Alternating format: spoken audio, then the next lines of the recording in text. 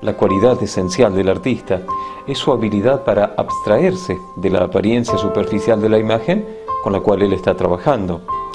Debe poder penetrar en la verdadera esencia del objeto y así traducir su impresión en un dibujo con dimensiones físicas. Dicha producción artística revela al observador aquello que no podía percibir por cuenta propia.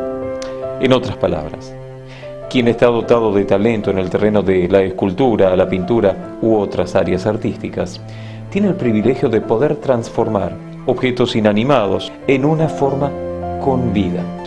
Este análisis está estrechamente relacionado con una de las características claves de las aspiraciones espirituales del judío.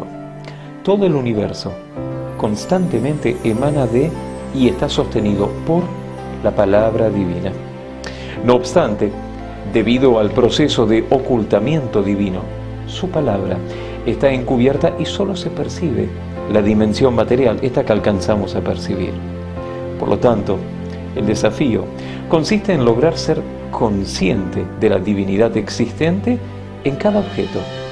Aun cuando nos encontremos ante momentos y pruebas difíciles en la vida, debemos verlos como vehículos que sirven para expresar nuestro potencial y que nos asisten en nuestro crecimiento espiritual.